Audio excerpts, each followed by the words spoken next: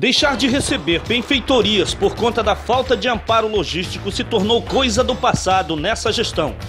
Chegaram em nossa cidade cinco grupos geradores e outros equipamentos que irão beneficiar as comunidades indígenas do município, graças ao apoio total do governo municipal. Fico muito feliz de amanhecer o dia aqui e estar tá junto com eles recebendo.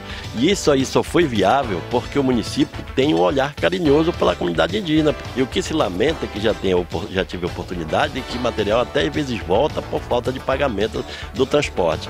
No meu governo isso não vai acontecer. Sempre eu irei pagar o transporte desse material da comunidade indígena, porque nós temos na mente de que com isso nós vamos melhorar a vida dos nossos irmãos indígenas que moram tão distante desse município e merecem sim ser atendidos com muito carinho. É verdade, essa gestão nunca vai voltar mais material enquanto esse governo do município consegue para trazer esse material na município de Oriximiná e também para destinado para a aldeia. Reafirmo aqui o meu compromisso, claro, de continuar lutando pela essa comunidade indígena e pelo povo de Oriximiná, sempre melhorando a vida das pessoas. A gente pode acreditar que não vai acontecer o que aconteceu no passado, né? Então que hoje nós vamos conseguir trazer esse material.